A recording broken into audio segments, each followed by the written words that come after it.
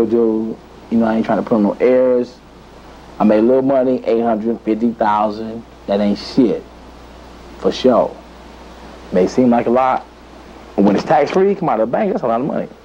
But when you fuck with some legal shit, that ain't shit. Uncle Sam was like this far up in my pocket, yo. Look, I'm a thug motherfucker. Ain't never had a job. All of a sudden I write this book, boom, book blow up. Pay a motherfucker. Riches, real shit. Y'all niggas ain't knowing. I'm telling you, real shit. Money, cars, fresh ass boots, all that old shit. Jury, thug shit. Book blew up. All the motherfuckers came. People Magazine, Esquire, LA Times, New York Times, The Globe, Boston. Oh man, Washington Post. Motherfuckers was on me. The New Yorker. First, what they want to know, did you really write this book? How could an uneducated motherfucker dropping out the sixth grade, go to prison, we have set you up for failure. Period. You do not breathe. Period.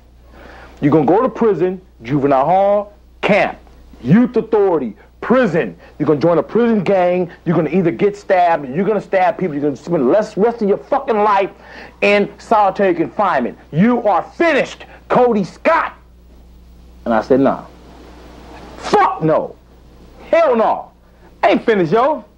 Got a spirit of a thug in me. And not just no regular, ordinary thug. I'm not like CNQ. Motherfuckers rebelling against the system. And that's thug shit. Boom. They wheeled me out, chained me up, dressed me up, sent me in front of these motherfucking cameras, and Whitey was like feeding on a motherfucker. Because it was the first time that a real motherfucker spoke. From the heart. Florence and Normandy, Monster Kody. A-Trade gangsters on the real. Real thug motherfuckers. Motherfuckers want to be like us. All over this motherfucker. And I ain't proud of this shit. We did it. That's fucked up. Now it's time to make amends. What we saying now is this.